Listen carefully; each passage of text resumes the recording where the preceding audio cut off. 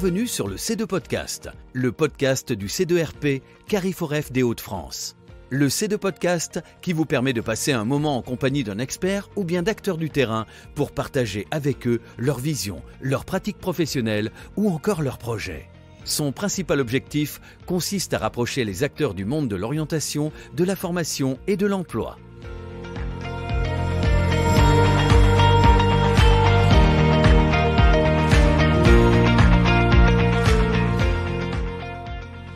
Bienvenue dans le C2 Podcast, le podcast du C2RP Cariforef des Hauts-de-France. Nouvel épisode aujourd'hui pour mettre en lumière un projet remarquable intitulé Sécuritel. Un projet qui vise à accompagner la féminisation des métiers de la sécurité. Nous avons le plaisir de recevoir l'ensemble des parties prenantes du projet et sans plus attendre, commençons avec vous, Dany Delcourt. Comment vous, Acto, pour promouvoir ces métiers auprès des femmes. Quelles actions entreprenez-vous ou avez-vous déjà entrepris? L'idée, c'était de créer une formation 100% féminine et de faire euh, découvrir le métier euh, autrement. Cette démarche vise d'une part à, augmenter l'attractivité du métier euh, d'agente de prévention et de sécurité auprès des femmes. D'autre part, assurer une sécurisation des parcours par une formation originale et adaptée dans le cadre d'une POEC euh.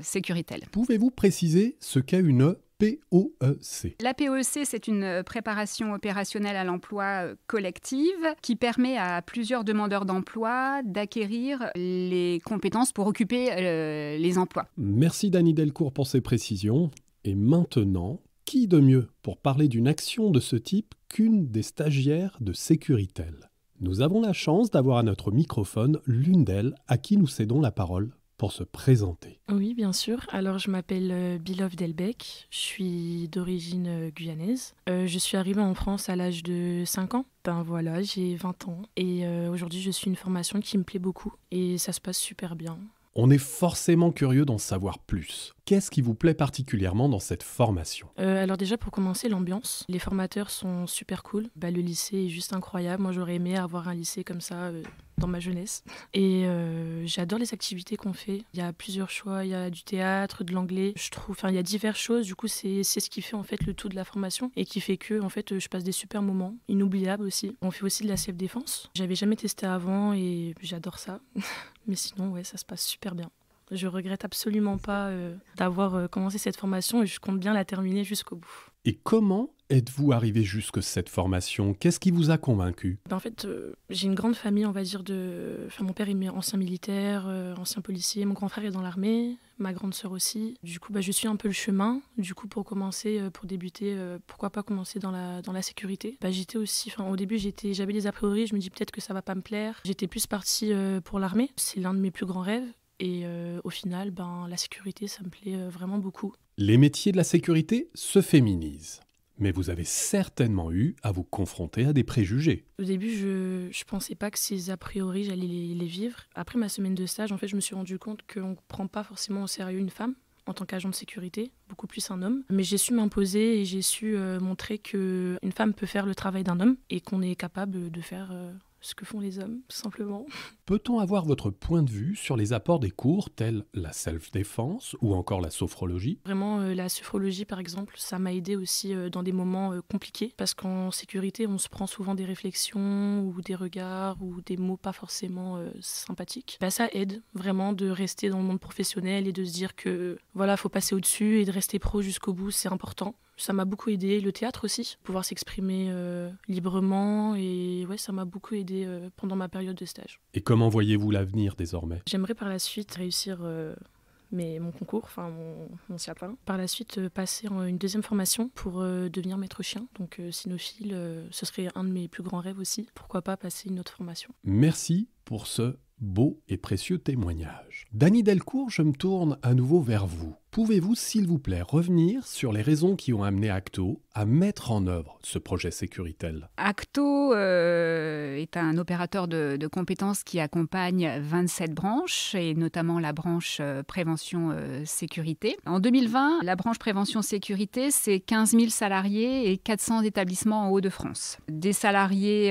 jeunes et plutôt masculins, 87% d'hommes et 13% de, de femmes. Entre 2015 et 2020, c'est une hausse de plus de, 10% des emplois salariés euh, dans la branche prévention sécurité en Hauts-de-France. L'estimation, c'est 2640 recrutements de nouveaux entrants par an d'ici 5 ans, hors pic des Jeux olympiques. Donc le constat, c'est que c'est une branche qui est en, pleine expansion. Cette expansion, elle est due à, des facteurs euh, multiples. L'instabilité euh, géopolitique, les tensions sociales, les, Jeux olympiques qui arrivent euh, en 2024. Parallèlement à cette, à cette expansion, c'est une branche qui doit faire face à de grosses difficultés de, recrutement, avec de, multiples enjeux pour, pour les entreprises, la fidélisation des, salariés pour réduire le, le turnover, le renouvellement de l'image de la profession, le maintien et l'actualisation des compétences des salariés qui sont déjà en poste, mais aussi un des gros enjeux pour la branche, c'est la, féminisation euh, des métiers, parce que la, branche ne regroupe que 14% de personnel féminin. Donc la féminisation des métiers, c'est un enjeu important pour la branche. Dany Delcourt, merci.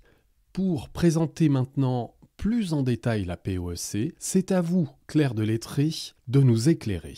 Vous êtes conseillère formation au Greta de Lille Métropole. Vous avez donc eu à répondre à la sollicitation d'Acto. Comment cela s'est-il passé? Comment s'est construit ce projet? Merci pour votre invitation. J'ai donc eu l'occasion de m'investir sur ce projet grâce à Acto, effectivement. Donc j'ai été euh, contactée euh, par les deux collaboratrices euh, de la région Hauts-de-France pour décliner une action qui avait été expérimentée dans une autre région. On était ravis de pouvoir s'investir sur cette problématique, parce qu'on accompagne déjà et on forme déjà au métier d'agent de sécurité, mais là, c'est vrai que ça donne une autre dimension et c'est toute l'originalité du projet. Donc après, comment on a co-construit avec Acto? En fait, on a eu l'occasion d'organiser une première rencontre pour euh, appréhender le dispositif, repérer euh, les objectifs, les prérequis, la déclinaison euh, au niveau de l'ingénierie qui serait nécessaire. À partir de là, on a effectivement dit que le Greta Métropole pouvait tout à fait mener ce projet-là. Le transversal, c'est justement tout ce qui va apporter au public féminin un apport aussi de confiance, d'assurance pour ces métiers qui sont euh, parfois euh, pas faciles. Donc euh, justement pour assumer des situations qui peuvent être conflictuelles, des situations à risque, voilà où on a aussi à gérer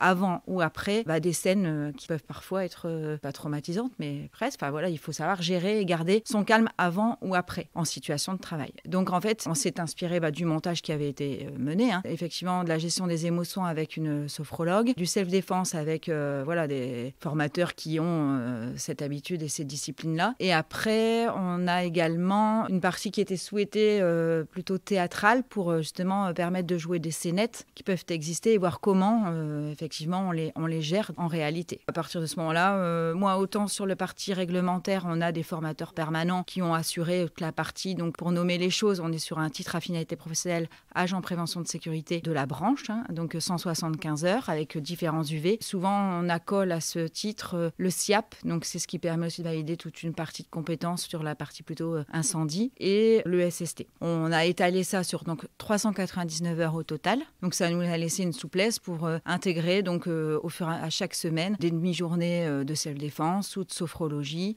ou de théâtre. Et pour qu'un pareil projet atteigne les objectifs assignés, il faut des entreprises. Géraldine Lejeune, vous représentez Sécurité Solutions. Nous imaginons que vous avez réservé un accueil particulièrement positif à ce projet. Alors, je suis ravie d'être présente euh, aujourd'hui et je l'ai effectivement été euh, depuis le démarrage du projet. Nous avons très très bien accueilli ce projet. Nous avons en effet été contactés par euh, l'ACTO pour ce projet Sécuritel et nous avons tout de suite répondu présent. Nous nous sommes investis dès le démarrage par notre présence sur les différents événements qui ont été organisés parce que l'entreprise est en effet très sensible à l'inclusion de manière générale. La diversité fait partie de nos valeurs. Donc dès la phase de recrutement, nous veillons à respecter effectivement l'égalité des chances, que ce soit un homme, que ce soit une femme. Quand la personne postule, nous l'évaluons sur les compétences et les capacités de la personne à, occuper le poste. Et il est vrai qu'aujourd'hui, dans les métiers de la sécurité, on a les résultats euh, chiffrés euh, au niveau national, les femmes sont encore trop peu représentées dans ce métier. Dans notre société, actuellement, on est à plus ou moins 10% euh, de femmes salariées en tant qu'agents de sécurité. En quoi le format d'une POSC exclusivement féminine est pertinent pour une entreprise comme la vôtre? L'intérêt, c'est justement de pouvoir attirer le public féminin, mais surtout, le dispositif permet de former et d'acquérir à la fin du cursus la délivrance de la carte professionnelle qui permet euh, aux candidates d'être directement euh, employables puisque c'est un indispensable pour exercer le métier d'agent de prévention et de sécurité. Et comment vous vous êtes engagé dans le projet? Sous quelle forme? Sécurité Solutions s'est engagé dès le démarrage. Nous sommes venus à la première réunion d'information alors au démarrage, effectivement, sans trop savoir à quoi s'attendre. Et puis, euh, nous avons été effectivement portés par le projet. Nous sommes venus aux deux sessions de recrutement. L'une euh, où j'ai pu moi-même participer et euh, j'ai expliqué le métier d'agent de sécurité aux personnes qui étaient présentes. J'ai pu participer aux ateliers aussi avec les candidates. Sur la deuxième intervention, c'est notre chargé de recrutement qui s'est présenté avec l'une de nos salariés, agent de prévention et de sécurité féminine, Marion, et qui a témoigné, qui a expliqué son parcours pour dédramatiser un petit peu ou faire tomber les préjugés qu'il peut y avoir, puisque c'est une jeune femme euh, qui se plaît vraiment dans, son métier.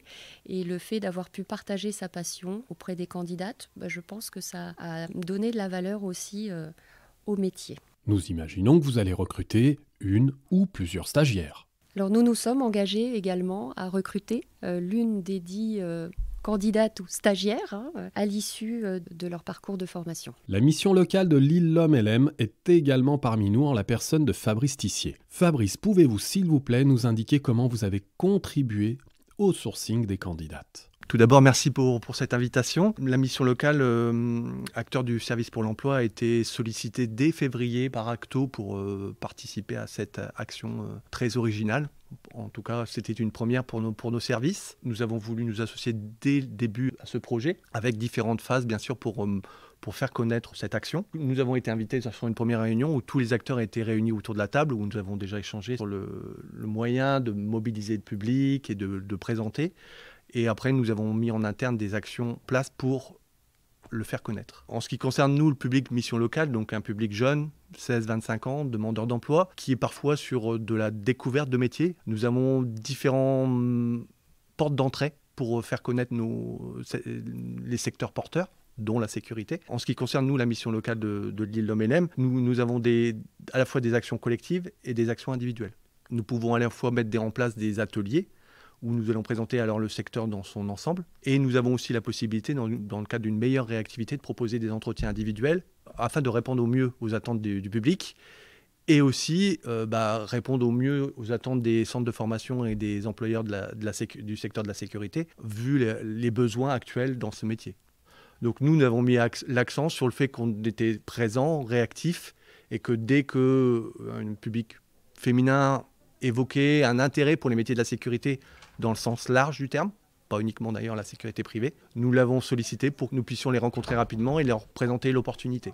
Une fois recrutées, Comment les candidates sont-elles accompagnées? L'accompagnement est dans le temps. Nous avons d'abord, euh, comme je l'ai dit, un premier entretien individuel afin de bien faire comprendre les attendus de, la formation et de l'action proposée par Acto. Dans ce cadre-là, nous, nous expliquons aussi tous les prérequis pour la formation euh, dans le cadre de la sécurité. Voilà un métier quand même très réglementé afin que les personnes ne puissent ne se, ne se trompent pas dans l'orientation pour après afin de les, orienter sur les réunions d'information qui sont proposées par euh, Acto et le centre de formation. Dans ce cadre-là, après, nous, nous avons un suivi parce que si on prend l'action en étant associé dès février et dans le temps avec des réunions qui ont eu lieu juste avant l'été, avec un démarrage de formation en septembre. Donc il a fallu euh, bah, accompagner toutes les personnes dans le temps et bien leur, faire comprendre l'importance de l'action et que si leur projet était clairement défini et solide, c'était une réelle opportunité pour ces personnes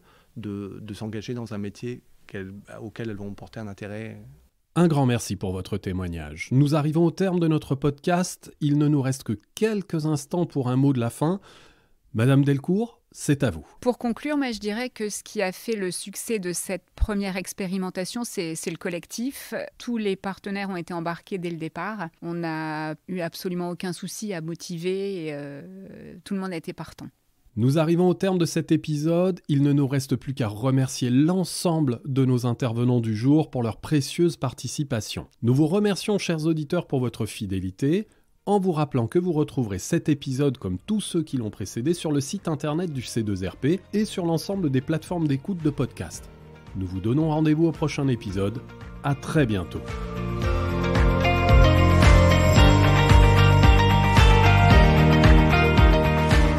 Merci de votre écoute.